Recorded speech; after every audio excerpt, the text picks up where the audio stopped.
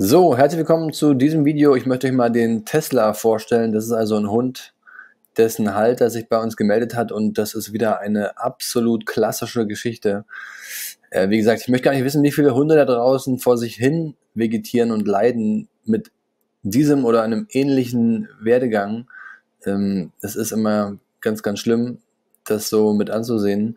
Ähm, ich gehe nur mal schnell durch. Das Video ist jetzt hier für jeden gedacht, der sich darin wiederfindet und der sagt, what the fuck, das äh, könnte ja meine Geschichte sein, weil es leider auch so ist, dass wir eigentlich immer dieselben Geschichten hören in gewisser Abwandlung. Also ähm, wir fragen immer die Hundehalter, bevor die zu uns kommen, gib erstmal so deine konkreten, also die, deine konkreten Symptome an, deine, die Probleme, die der Hund gerade gegenwärtig hat. Und dann allein schon diese Litanei, diese ellenlange äh, äh wir können ja mal durchgehen hier. So. Also Atopika, ähm, atopische Dermatitis, ja, Hautprobleme heißt das also, ähm, Gewichtsverlust heißt, ja, Nährstoffe nicht vorhanden, der Körper kann die Nährstoffe nicht aufnehmen, Tierarztfutter, Tierarzt verkauft immer irgendwelches Futter, klar, ist äh, die Haupteinnahmequelle für Tierärzte neben Spot-ons und Wurmtabletten. Und ja, dann, das ist immer so ein Wechsel zwischen irgendeinem Tierarztfutter und dann wieder von mir selber bekocht. Juckreiz, allgegenwärtig, Augenpopel, also diese Augenausfluss, diese ne, schleimigen Sekrete, die da aus dem Auge äh, ständig rauskommen, Rülpsen, spricht also für Magenproblematik, wahrscheinlich eine Magenschleimhautentzündung, zwischen Zähnabszess, da geht es ja weiter, die kann aber niemand in Zusammenhang bringen, dass die Pfoten, zwischen Zähnabszess, generell wunde Pfoten, äh, Pfotenlecken, diese ständige Knabbern zwischen den Zähnen, all das gehört auch dazu. Dann äh, neues Tierarztfutter, wie gesagt, ich nenne die alle nicht beim Namen, um hier auch nicht auf irgendwelche ja, Probleme zu stoßen. Äh, Fellverlust, also auch ein Hautproblem, Krusten, ähm, Schuppenflechte, so, dann gibt's Cortison. Ja, also so trotzdem Juckreiz im ganzen Körper, Pyodermie, also eine eitrige Hautentzündung quasi am Bauch, Schilddrüsenunterfunktion, kommt dann später ganz neu dazu. Und er nennt ihn liebevoll seinen Mittelklassewagen. Probleme seit Welpenalter. Ständig was anderes. Also mir zieht es mal regelmäßig die Schuhe aus, wenn ich sowas lese. Ein Tier, was seit Welpenalter eigentlich krank ist und ständig irgendwas anderes hat. Ähm, natürlich wünschen sich die Halter nichts anderes als ähm, dass der Hund gesund wär, wäre mal irgendwann ne? und das ja, ist ja klar. Also die sozusagen Gewicht zunimmt, glücklich ist und auch diesen elendiglichen Juckreiz mal irgendwann los wird. Das größte Hindernis, diesen Zustand selbst zu erreichen, ja, Hund ist seit dem Welpenalter krank, kann Ihnen nicht sagen, wo wir überall schon waren und wohin wir schon überall Geld Zeit, so. Dieser Tierarztmarathon, der ist einfach unsäglich und es wird immer viel probiert, ohne dass ihm wirklich richtig ganzheitlich und nachhaltig geholfen wurde. So, meistens wurde es dann zu unbequem und irgendwann wurde die Behandlung abgebrochen, da, da, da, da. Ja, ich, ich kenne das ja alles. Und Tierarzt ist mit seinem Latein am Ende und er ist das Textbuch. Okay, Halter würde alles für ihn tun. Der Hund ist sieben Jahre alt und ähm, er hofft natürlich auch, dass der Hund noch weitere sieben Jahre äh, leben wird. Ähm, und das kann ich schon mal sagen, wird nicht einfach so passieren, sondern da braucht es ganz konkrete, also da braucht es einen Fahrplan und ganz konkrete Schritte, die kleinschrittig aufgebaut, also aufeinander aufbauend äh, vollzogen werden. Da braucht es einen ganz klaren Plan und nichts, was ich hier in so einem kurzen Video äh, mitgeben könnte, würde dieses Problem lösen. Es gibt nicht diese eine Wunderpille, sondern wenn hier über sieben Jahre quasi alles schiefgelaufen ist, da muss man sich mental schon mal damit anfreunden, dass es mindestens wieder ein Viertel, halbes Jahr dauern wird, um das Ganze wieder ganz kleinschrittig von Grund auf aufzubauen.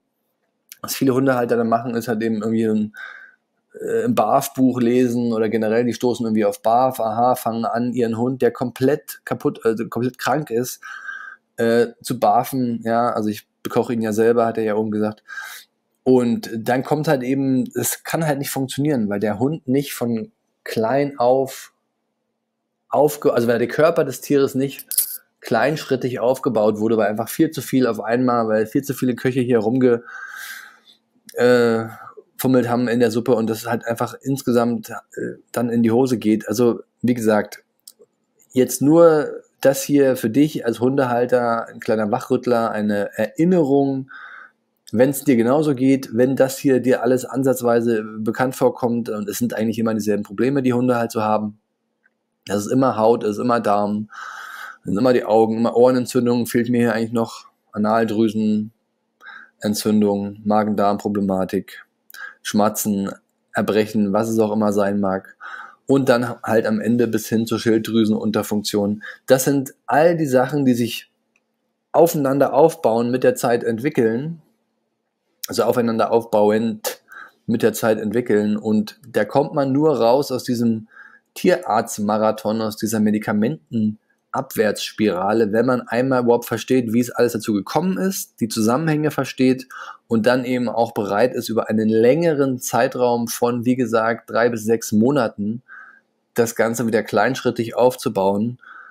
Und wem sein Hund das wert ist, der kann sich gerne bei uns melden. Wir haben von dem Kaliber hier schon, ja, wie gesagt, guckt dir gerne die Bewertungen auf unserer Webseite an, franzspitzer.de. Wir haben ja schon Dutzende Bewertungen von Hunden, die genau auch so zu uns kamen und am Ende gesund waren, aber es braucht eben etwas Zeit, es braucht vom Halter eine ganze Menge Energie und Aufwand, der da betrieben werden muss. Und das Ganze ist also nicht hier mit so einem schnellen Video einfach mal so erklärt. Das heißt, äh, all diejenigen, die jetzt hier die Wunderpille so, äh, suchen, ne, Franz, gib mir jetzt hier meinen meinen Tipp. Kommen ganz viele zu uns, die einfach nur ein paar Tipps wollen. Die enden dann hier, genau hier und stellen irgendwann fest, es gibt nicht diesen einen Tipp, sondern hier wird, also hier ist einfach alles falsch gelaufen. Und da muss sozusagen wirklich kleinschrittig aufgebaut werden. Wir haben dann eine ganze Checkliste von über 50 Punkten, die nach und nach nacheinander abgearbeitet werden müssen, auch in der Reihenfolge. Dann kann man irgendwann anfangen, das Cortison langsam auszuschleichen und das Ganze wird halt, wie gesagt, dauern. Und ich kann, wie gesagt, die Videos hier immer nur machen, um äh, jedem Hundehalter so klar zu machen, okay, hör zu, du bist nicht alleine. Es gibt so viele, die dieses Problem haben weil diese Schulmedizin da draußen einfach, ja, ich sag mal ganz nett höflich, nicht funktioniert und weil sie zu dem hier führt und weil also Dauerpatienten kreiert werden, die dem Tierarzt und der Pharmaindustrie und noch einigen anderen jede Menge Geld bringen, der Futtermittelindustrie zum Beispiel auch, aber nicht deinem Hund helfen. Und je eher du als Hundehalter das einmal checkst und verstehst und dann eben auch die entsprechenden Handlungen tätigst und da aktiv aussteigst aus der Nummer, solange wirst du also weiter hier auf deinen Mittelklassewagen zusteuern. Genau. Also das Video jetzt nur kurz so als kurzer Abriss von dem, was mich tagtäglich erreicht. Es zerreißt einem das Herz, aber gut, äh, wir können es nur in die Welt tragen und äh, sagen, dass es dafür eine Lösung gibt. Bereit sein, diesen Weg aber auch zu gehen und umzusetzen, das ist eben das, was die Spreu vom Weizen bekanntlich äh, trennt und das muss jeder Hundehalter für sich entscheiden. Genau, ähm, dann machst du schon für dieses Video. Ich wünsche dir, falls es dir auch so geht wie das hier, äh, trotzdem alles Gute für dich und deinen Hund. Und ja, würde mich freuen, von dem einen oder anderen zu hören und dann bis zum nächsten Video. Bis dahin, ciao, ciao, dein Tierarzt Dr. Franz.